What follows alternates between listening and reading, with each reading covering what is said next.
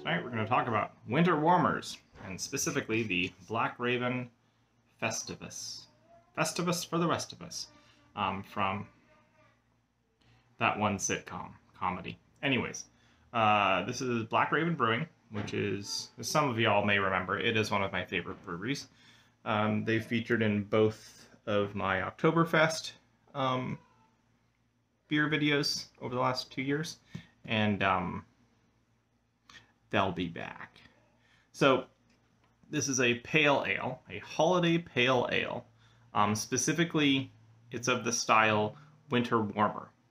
A winter warmer is a kind of a, a subcategory or a, a term to describe certain old ales, which are barrel aged English style brown or reddish ales, brown ales, um, as in you know kind of English bitter kind of stuff. Um, trying to think what the Newcastle is probably the most common um, British brown you'll get in the U.S. What differentiates the winter warmer is the spices, not necessarily the warming alcohol characteristics, though definitely you'll see higher ABVs in a lot of winter warmers as that's part of the marketing. Um, so it's kind of all the same subcategory family as Christmas ales, um, old ales, winter ales. They're all the same thing. So uh, you should expect a lot of spice. And this, in these, they're actually spiced. They've actually added spices, cloves, orange peels, um, ginger are all common. Um, uh, some roots roots work really well for adding to, to beers in my experience. Um, so so ginger, glengall, um, yeah, that's all I know off the top of my head. Um, probably because one of those is on the can in front of me, the three syllable one, galangal. Am I supposed to laugh at my own jokes? Anyways, so winter warmer, they are spiced, like actually spiced, not just spicy as a product of the roasting and brewing method, but actually spiced brown ales, typically 7 to 14 ABV. This is quite on the low end of that at only 7.3. And so let's uh, give it a try. Crack the can one-handed here. Feel claw grip. Bring in my uh, cider glass. Someday I'll get a stand for this, maybe. Let's pour. Mm, so uh, a light honey color. It's a really nice looking thick head. Goodness gracious. Nice. Yeah, so uh, honey maybe to the side, just just the amber side, a little bit, you know, touches of red in there.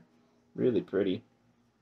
Um, this far away, I'm getting uh, banana, um, which means it's a probably a relatively light roast.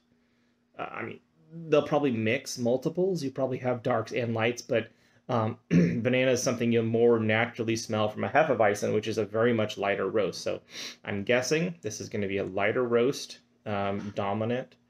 Um, as you get closer, there's some some vegetable, um, like uh, hay, maybe uh, certain forms of grass.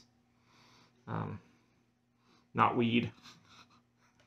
Actually, learned today. Um, apparently, hops's closest plant relative, good old Mary Jane. Anyways, that wee bit of trivia for you today. So, orange peel.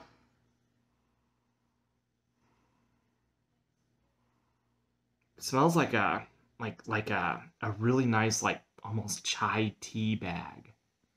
Oh, that's good.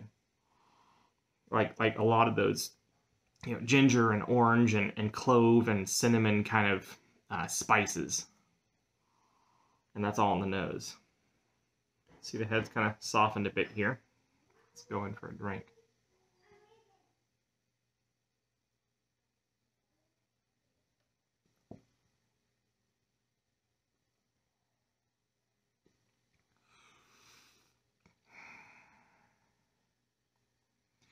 Um,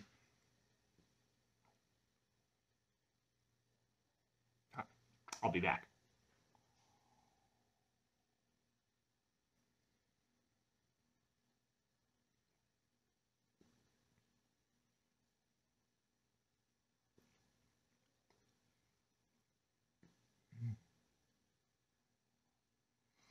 Let's see.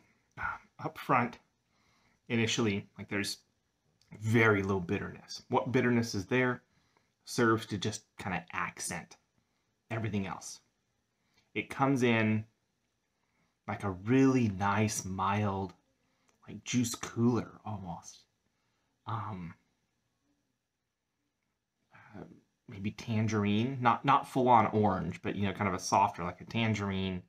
Um, you know, really spiced, maybe mixed with some apple cider. Um, uh, the cinnamon, the cloves, the ginger are just kind of all there. It sweetens as it as it sticks around in your mouth, um, and then as you drink it, the the hoppy, the the, the really mild, balanced hops finally kind of come to play, and they, they slowly build as you as you hold it in your mouth and then you swallow it, and but they never build to like IPA. It's it's it's a brown. It's it's not overly hopped. Um, it it becomes almost like this dark chocolate in your in your mouth as you swallowed it, and the sweetness and the spices are going down your throat, and you just got like this lingering, kind of really like a 85 or 90 percent dark chocolate there. Um, yeah, so this is really good.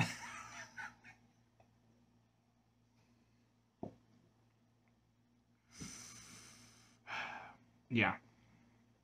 So, I'm to let you go because I'm going to be preoccupied for a little bit with Festivus by Black Raven Brewing.